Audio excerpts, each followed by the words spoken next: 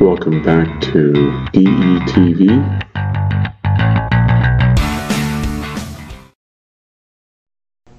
Okay, we are going to create the locator part. As you see by this three-dimensional drawing, this is what it looks like, but we are going to do it in an orthographic projection, or otherwise known as a multi-view projection of front, top, and right side, the standard three views. Uh, as you can tell, also this is in inches, so make sure you set this up in imperial, and then you can tell the length and so on. So first thing I'm going to do is I like to turn on my grid. I like to have units. It's going to be no more than two decimal points, and then inches, good, and then limits. I am going to have the corner, so negative 2 comma negative 2 as the lower left and then the upper right would be 5 we'll say 10 over that's more than plenty of room and a height of 6 uh, I do zoom extents and there we go we have our and this is going to be my starting point approximately. Um, it wants you to set up layers. Remember layers, uh, the first note I'm going to tell you is do not mess with layer 0. Do not mess with layer 0. Do not mess with layer 0. I said it three times. I want you guys to remember do not mess with layer 0. Alright, so the first thing you're going to do is layer properties. You click and it's going to want you to create a new layer. That's this first little section here where you see a whole bunch of little layers and a uh, yellow asterisk. First layer I'm going to create, as you can see by here, is construction. So construction, and I'm going to keep it white and continuous. I am going to push um, a new layer, and then this one is going to be object and then blue and continuous. Now, the colors, there's a ton of colors up here, but the only ones I want you to use are on this row right here. So this is blue. When you click it, it'll say blue, you'll see blue, and you push OK. You go to the upper left, click that X, it gets rid of it, but these layers are there. Um,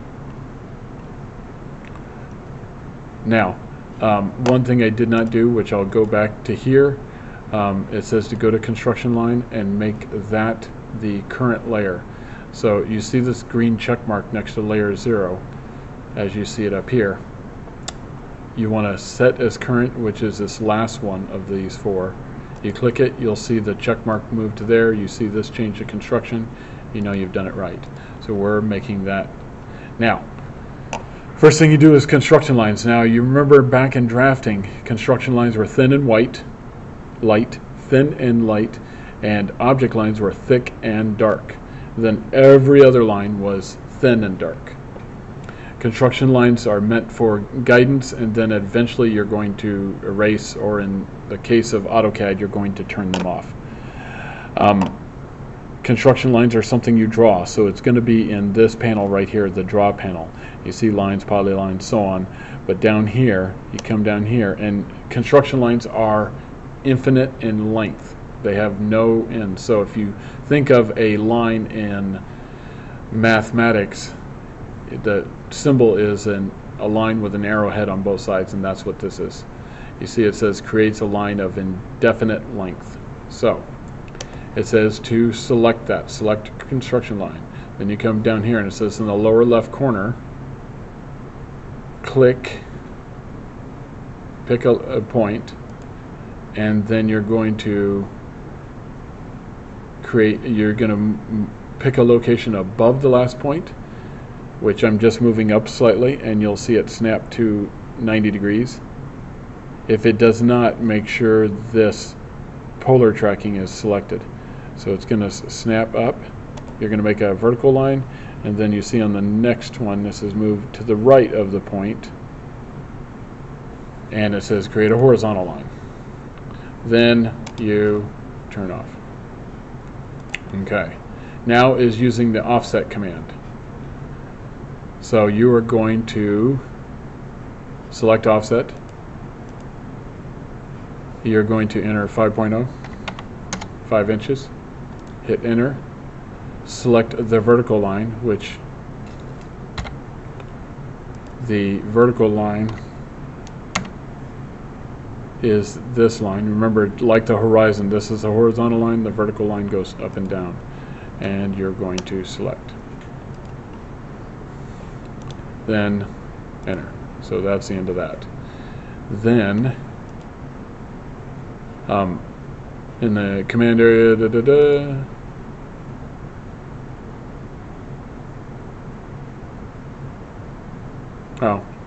yes, that's another way of doing it. So you can select there, select offset again.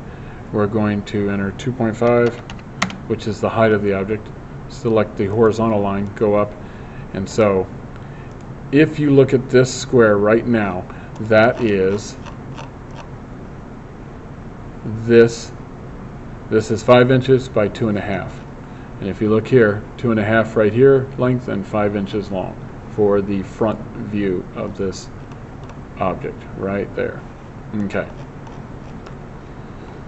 So we've got our first view drawing. Now we need a little space.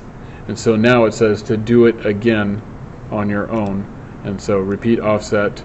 This time we're going to do one, enter, and that's just going to be the space between the front and the top view and the front and the right side view. Alright, cancel. Then we're going to right button click, repeat offset, and we're going to choose 3, enter.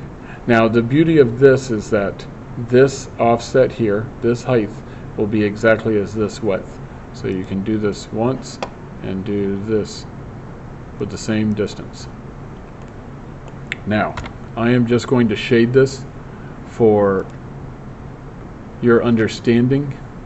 Uh, solid, current, we'll make it red. So right here, right here, and right here is where you're going to draw your three views. You're going to draw the front view, the top view, and the right side view. Now, again, this distance is the same as this distance. Why is that? Well, if you look, if, if you were to look at the front here, it would be three inches wide, but also if you were to look down at the top, it would be three inches tall. So those are both the exact same features. Okay. Back to right here. We have now created this, and I am going to undo the shading. Okay, now you're going to set select the object layer as current. So all you do is come up here, go to object, and set that. So that's how you make, so the next line should be blue.